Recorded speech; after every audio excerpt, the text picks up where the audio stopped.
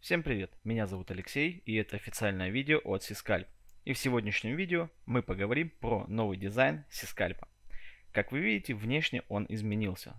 Конечно же, разработчики оставили возможность настраивать цвета под ваши вкусы. Давайте посмотрим, что же изменилось. Изменилась шапка приложения. Теперь мы видим, что в шапке приложения появилась кнопка «Аналитика». Аналитика скрывает в себе ленту уведомлений, watch-лист и сигналы. Финрез и сделки остались на своих местах.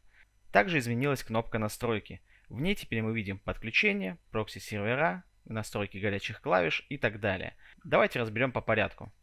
Окно подключений. Оно имеет теперь новый вид. Здесь мы видим статус подключения, наименование биржи, ключ и цвет. В принципе, все как и раньше. Открываем настройки подключений. И здесь мы вводим наши API-ключи, выставляем параметры, определяем тип кошелька, если он доступен, сервер market data ы и прокси-сервер. После того, как мы настроили, мы просто закрываем окно и у нас настройки сохраняются. И нажимаем на подключиться к площадке. Прошла анимация иконки, мы видим, что статус загорелся зеленым цветом, значит подключение успешно. Здесь также мы можем удалить подключение, либо добавить новое подключение. Из изменений в окне прокси сервер. Теперь мы видим все наши доступные серверы для каждого подключения. Мы можем добавить свой прокси сервер Теперь он может быть не один, а их может быть несколько, и на разные подключения вы можете использовать разные прокси-сервера. А также вы можете проверить текущую скорость от вас до вашего прокси-сервера с помощью кнопки «Проверить скорость». Как мы видим, изменился пинг, и мы видим, что для меня сейчас наиболее стабильный это Хабаровск 2. Горячие клавиши.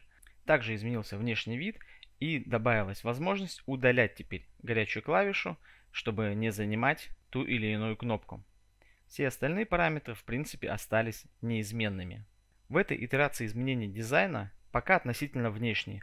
Позже новый дизайн даст нам возможность улучшать функционал под требования трейдеров. Окно сделок у нас также изменилось. Теперь мы можем сортировать по нужным колонкам и информация стала более визуально восприимчива. Устанавливайте данное обновление, посмотрите все Сами лично вживую убедитесь, что стало намного удобнее и визуально приятней. Ссылки на подробности о релизе будут в описании под видео. Всем профита, всем пока!